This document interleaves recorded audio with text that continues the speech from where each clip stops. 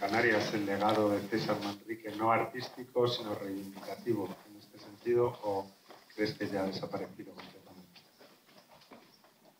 Eh, no, no, no, para nada está su discurso y es, y es, triste que no esté ni siquiera, no solo en Canarias, sino a nivel eh, nacional. ¿no? Eh, sinceramente que, como decía en la presentación, eh, para mí significa como el, cerrar un círculo que yo inicié con la generación de Gaceta de Arte, que para mí es la generación de oro de Canarias, generación vinculada al surrealismo y a, y a vanguardias en el momento de los años 30 y, es una idea de otra, otro tipo de Canarias posible, mucho más inteligente, mucho más abierta, cosmopolita, universal. ¿no?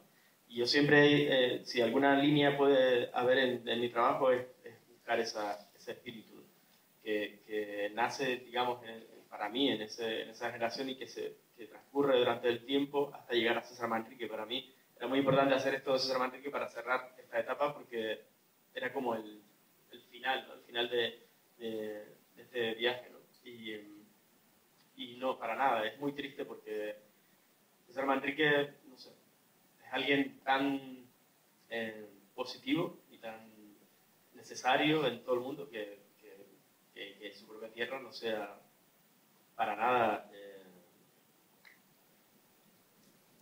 no sé qué no es conocido, para nada.